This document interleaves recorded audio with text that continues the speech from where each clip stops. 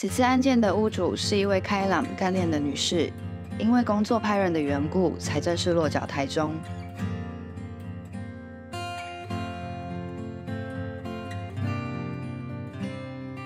原本建设公司的平面，一进门左手边紧贴着墙，墙后是厨房区，将左手边的厨房区墙面以及设备半推，我们让此区变成玄关衣帽区，工作阳台的采光也借此能被引入，整体更加敞亮。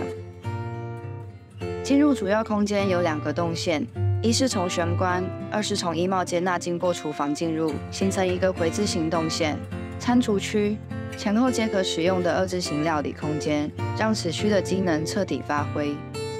配合着玄关大梁的存在和吊椅式冷气机的设置，以及尽可能争取楼层高度，我们设置了三个高层，由外至内分别是玄关、餐厨区和客厅区。每个天花板的转折皆以圆弧修饰，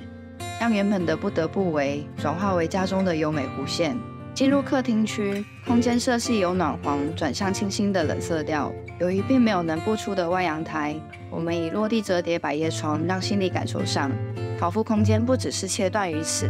产生延伸效果。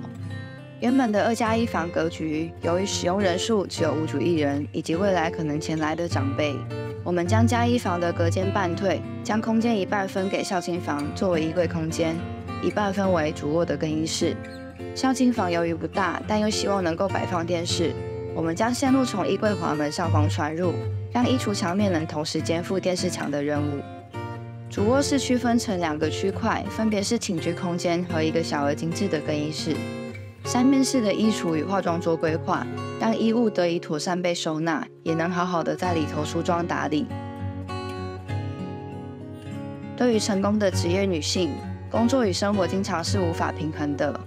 难免有疲惫的时刻，但在这家所享有那难得的宁静与舒适，将成为她不断前行的温柔后盾。